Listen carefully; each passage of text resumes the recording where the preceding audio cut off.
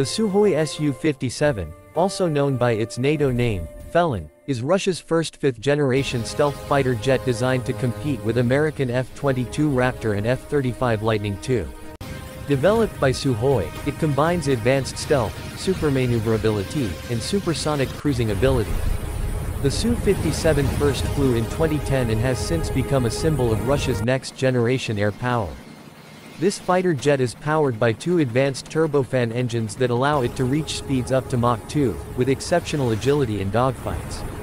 Its stealth design includes radar-absorbing materials and internal weapon bays, reducing radar visibility.